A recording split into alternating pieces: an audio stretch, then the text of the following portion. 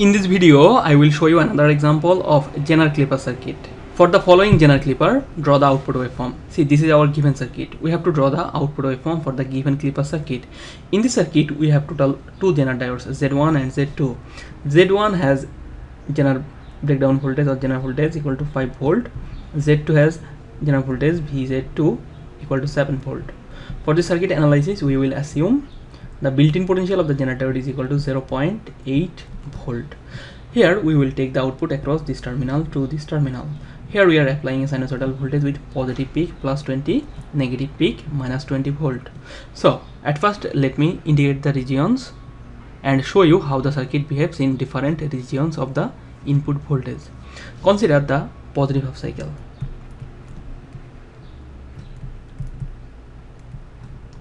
During positive half cycle this terminal will be positive and this terminal will be negative.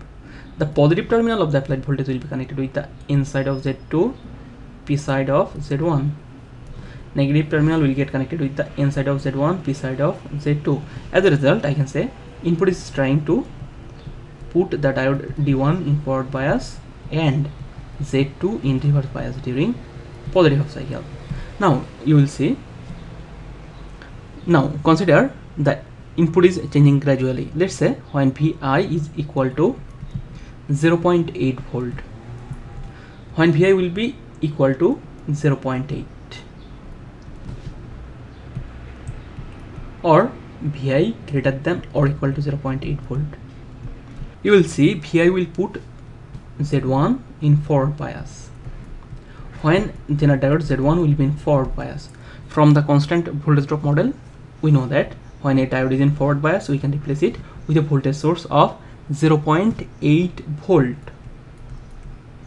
Or I can replace the generator Z1 with a voltage source of 0.8 volt. That means during the forward bias of Z1 it will maintain a constant voltage of 0.8 volt between these two terminals.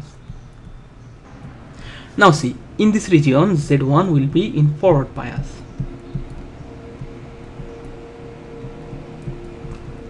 as Z1 will be in forward bias in this region.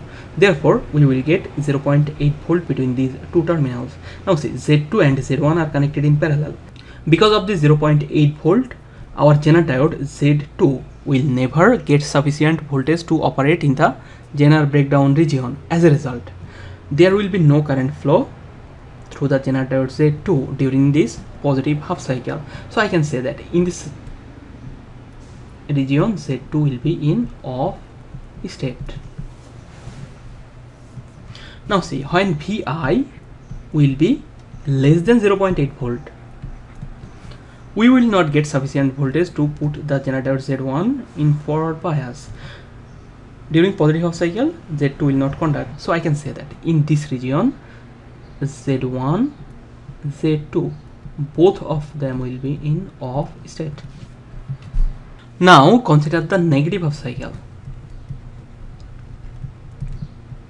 During negative half cycle, this terminal will be negative and this terminal will be positive. The negative terminal will get connected with the N side of Z2, P side of Z1. The positive terminal will get connected with the N side of Z1, P side of Z2. That means during negative half cycle, input voltage is trying to put Z2 in forward bias and Z1 in reverse bias. Now see, when input voltage Vi will be equal to minus 0.8 volt. That means if I talk about this portion of the applied voltage, when Vi will be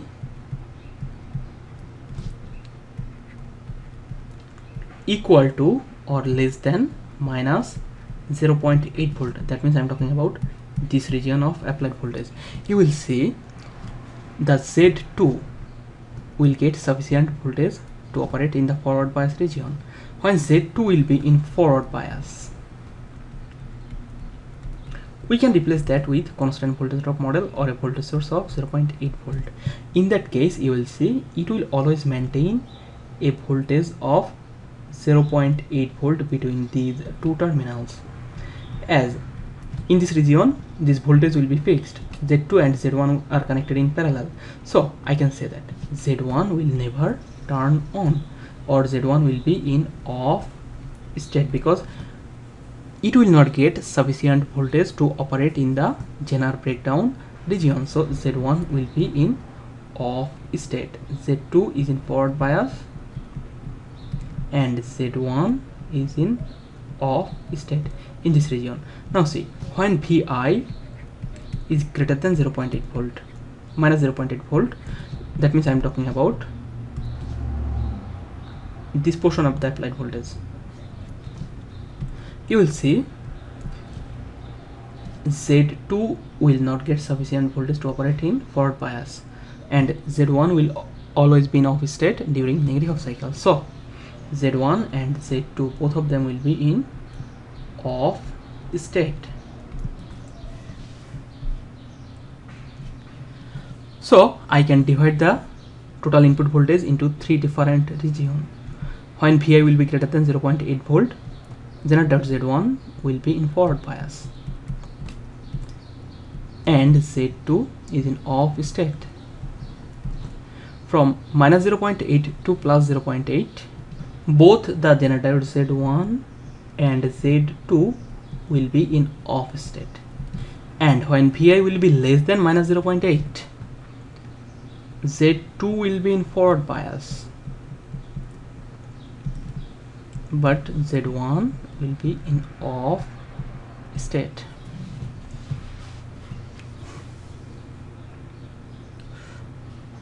Now consider this case. When Vi is greater than 0.8 volt. Z1 is in forward bias so we can replace it with its constant voltage drop model. Z2 is in off state so we can replace it with an open circuit. So if I replace the Zener diode Z1 and Z2 with corresponding equivalent circuit in this region I will get a circuit like this. Now see here input will be changing sinusoidally in this region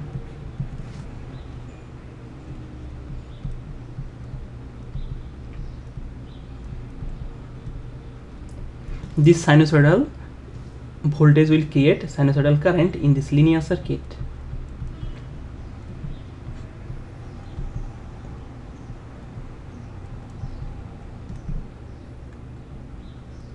As our output voltage VO is equal to I R in the circuit as current will be sinusoidal VO will also be sinusoidal. Okay now see what will be the maximum value of output voltage? When Vi will be equal to plus 20 volt. That means I'm talking about this portion. You will see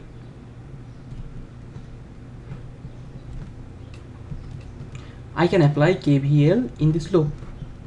If I apply KVL in this loop I will get plus 20 minus 0.8 minus VO so you will see VO is VO max. This will be equal to 19.2 volt. So VO will be sinusoidal with positive maximum plus 20 volt. See from this point to this point see from this point to this point Vi will be greater than 0.8 volt. So output will change sinusoidally with its positive maximum at 19.2 volt now see if I talk about this portion of the applied voltage that means I'm talking about input voltage between minus 0. plus 0.8 volt to minus 0.8 in that case both the 0 z1 and z2 are in off state. As a result we can replace both of them with open circuits. As this will be an open circuit during this input voltage you will see there will be no current flow or I in the circuit will be equal to 0 our output voltage VO is equal to IRL you will see I is equal to 0 so output voltage will be equal to 0 in this region. So so from this point to this point output is 0 from this point to this point output is also 0 from this point to this point output is 0 now consider this portion of the applied voltage. When Vi is less than or equal to minus 0.8 volt you will see Z2 will be in forward bias. So I can replace it with a 0.8 volt voltage source and Z1 will be in reverse off state. So I can replace it with an open circuit. So if I replace Z1 and Z2 with corresponding equivalent circuit in this region I will get a circuit like this. Here you will see input will change sinusoidally. Okay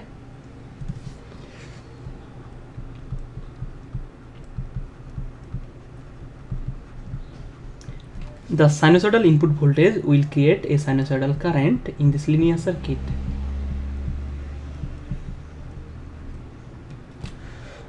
Therefore output voltage VO which is equal to IRL RL is fixed and it is 1 kilo ohm so VO will also be sinusoidal in this region.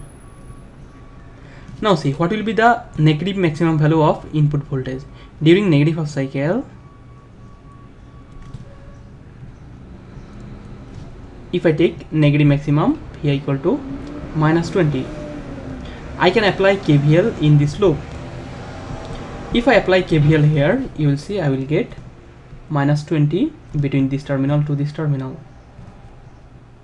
Plus 0.8 minus VO max equal to 0 so negative maximum will be equal to minus 19.2 volt. And our output voltage VO will change sinusoidally. So from this point to this point output is changing sinusoidally. Let's say it is the negative maximum point minus 19.2 so this will be our complete output waveform